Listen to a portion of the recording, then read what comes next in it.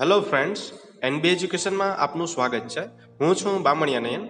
વિડીયોને લાઇક કરો, સબસ્ક્રાઇબ કરો અને શેર કરો.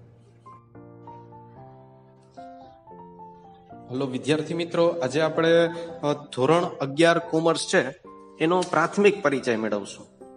એટલે કે કોમર્સ ફિલ્ડ શું છે?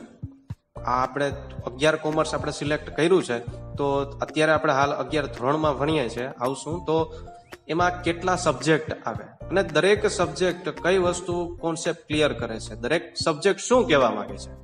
એની વાત આજે આપણે કરશું. મોટાભાગના વિદ્યાર્થીઓમાં એવું જોવા મળે છે કે એની પાસે ધોરણ દસ પછી ત્રણ ફિલ્ડ આવે. આર્ટ્સ કોમર્સ અને સાયન્સ ઘણા એવું માને છે કે આર્ટ્સ છે તો આર્ટ્સમાં થિયરિકલ સબ્જેક્ટ જાજા આવે. વધુ આવે. કે થિયરિકલ સબ્જેક્ટ વધુ હોવાથી થિયરી વાંચવી પડે. અને આર્ટ્સને થોડુંક લો લેવલ માનવામાં આવે છે. ખરેખર એવું છે નહીં. કોઈ પણ ફિલ્ડ નબળું નથી હોતું. એટલે લોકો આર્ટ્સને ઓછી પ્રાયોરિટી આપે. એટલે કે એમ થાય કે ભાઈ, બહુ લો લેવલ પણ નથી જવું? તો સાયન્સનો વિચાર કરે તો સાયન્સમાં મેથેમેટિક્સ આવે, ગણિત આવે છે. વિજ્ઞાન આવે છે. એવા હેવી હેવી અઘરા અઘરા સબ્જેક્ટ પણ આવે છે. તો તેને એ પણ બીક હોય છે કે ભાઈ, આટલા હાઈ લેવલ જે થિંકિંગ છે, તો આપણે સાયન્સને કેમ ટેકલ કરી શકીશું? બરાબર? એટલે બહુ હાઈ લેવલ પણ નથી જતા. માટે તે લોકો બહુ લો લેવલે નહીં હાઈ લેવલે નહીં. ફરજિયાત પણ એ લોકોને કોમર્સ સિલેક્ટ કરવું પડે છે. તો કરવું પડે એવું નથી. કોમર્સ પણ એક કોઈ નબળું ફિલ્ડ નથી. ખૂબ જ વિશાળ તકો છે કોમર્સમાં અને તમે જ જો કે કોમર્સ છે કોઈ ફિલ્ડ એવું નથી કે કોમર્સનો ઉપયોગ ન થાય.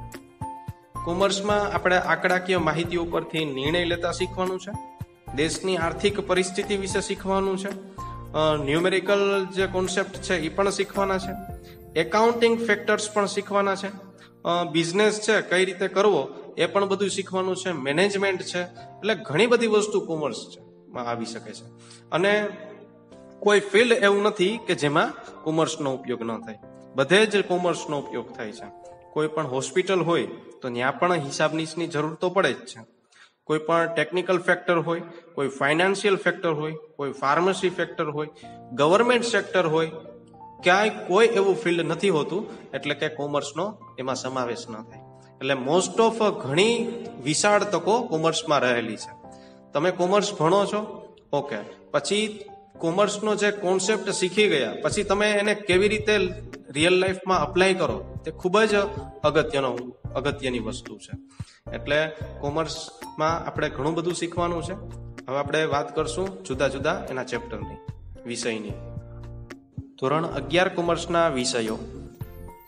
ધોરણ અગિયાર કોમર્સમાં આવતા સબ્જેક્ટ એટલે કે વિષયની માહિતી. કે ટોટલ ધોરણ અગિયાર કોમર્સમાં સાત વિષયો હોય છે. પહેલો વિષય છે આંકડાશાસ્ત્ર, જે આપણે ગણિત જેમ છે એવો પ્રેક્ટિકલ સબ્જેક્ટ આવે. આ આંકડાશાસ્ત્રમાં આપેલ આંકડાકીય માહિતીઓ પરથી આપણે નિર્ણય લેતા શીખવાનું છે. કે કઈ રીતે આપણે ડિસિઝન મેકિંગ કે આંકડાઓ ઉપરથી કઈ રીતે કયા પ્રકારના કેવા નિર્ણય લેવા, એ આંકડાશાસ્ત્રમાં આપણે શીખવાનું છે. પ્રેક્ટિકલ સબ્જેક્ટ છે. બીજું છે, બીજો વિષય છે, નામાના મૂળ તત્વો. એમાં બે બુક આવશે આપણે. ભાગ એક અને ભાગ બે. નામાના મૂળ તત્વ એટલે હિસાબ શીખવાના એમાં, કે કોઈ પણ પેઢી છે, અત્યારે ધોરણ અગિયારમાંના નામામાં તો આપણે એકાકી વેપારી છે, એના હિસાબી ચોપડે કઈ રીતે હિસાબો લખવા, એની ચર્ચા કરીશું. હિસાબનો પ્રાથમિક પરિચય હિસાબી પદ્ધતિઓનો પ્રાથમિક પરિચયથી માંડી અને વાર્ષિક હિસાબો સુધી આમાં માહિતી આપેલી છે.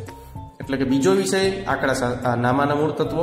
એવી જ રીતે ત્રીજો વિષય છે સીસી એન્ડ એસપી એટલે કે વાણિજ્યક પત્ર વ્યવહાર અને સેક્રેટરીયલ પ્રેક્ટિસ એટલે ત્રીજો સબ્જેક્ટ એ છે. આ વિષયમાં બે ભાગ હશે. અલગ બુક નથી બુક એક જ છે. એકાઉન્ટમાં એમ બે ભાગ છે, એટલે બે અલગ અલગ બુક હશે. પણ એસપીમાં એક જ બુકમાં બે અલગ અલગ ભાગ હશે, એટલે બુક એક જ હશે. એના પહેલા ભાગમાં હશે વાણિજ્યક પત્ર વ્યવહાર. કોમર્શિયલ કોરસ્પોન્ડન્સ કહેવાય ને કે ધંધા ધંધા છે, કોઈ પણ પેઢી છે, એમાં કયા કયા પ્રકારના પત્ર વ્યવહાર છે, એનો ઉપયોગ થાય. પહેલાં તો કે પત્ર વ્યવહાર કેવી રીતે કરવો? કોઈ પેઢીને કઈ સંબોધીને કરવો? કયા કારણોસર પત્ર વ્યવહાર થાય? એ બધું વાણિજ્યક પત્ર વ્યવહારમાં આપણે શીખવાનું છે કે પત્ર કેવી રીતે લખવો, એનું બધું આવશે. અને ત્યારબાદ સેક્રેટરી પ્રેક્ટિસ જે કંપની રિલેટેડ છે. તે પણ શીખવાનું છે. પછી ચોથું છે બીએ, એટલે કે એનું પૂરું નામ છે વાણિજ્યક વ્યવસ્થા અને સંચાલન.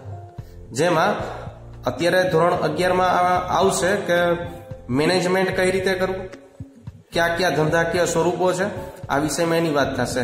એકાકી વેપારી, ભાગીદારી પેઢી, કંપની, એવું બધી સહકારી મંડળી, એના દરેક પાઠમાં એવી ડિટેલમાં આપેલું છે. એટલે ચોથું ચેપ્ટર ચોથો વિષય છે વાણિજ્યક વ્યવસ્થા અને સંચાલન. ત્યારબાદ પાંચમો વિષય છે અર્થશાસ્ત્ર.